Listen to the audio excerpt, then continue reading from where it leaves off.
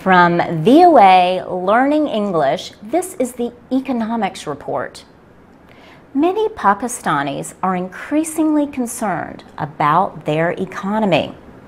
Safar Saeed directs an occupational training center in Islamabad, the capital.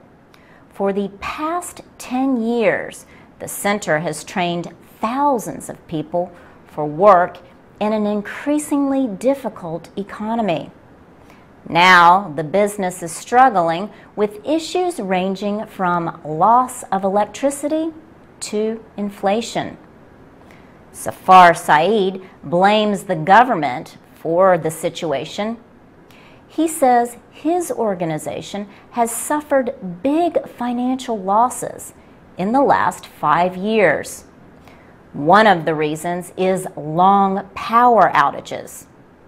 Another reason is that inflation makes it hard for people to pay his fees so they can learn skills that lead to income. Other people share his opinion. Street protests against power outages are common in Pakistan. Some outages can now last an entire day. Ashfaq Hassan Khan is a professor at the NUST Business School in Islamabad. He says there has been too little political will to fix the national tax system.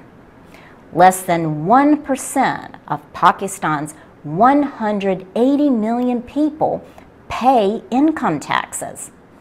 About 70% of federal lawmakers did not complete any income tax documents last year.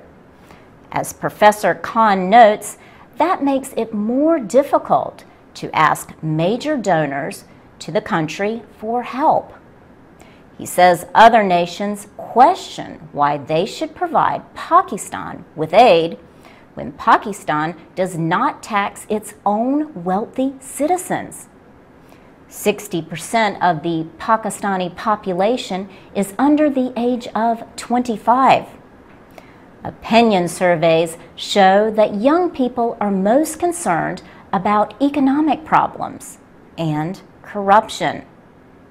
For VOA Learning English, I'm Laurel Bowman. You can watch more caption videos at the VOA Learning English website and the VOA Learning English channel on YouTube.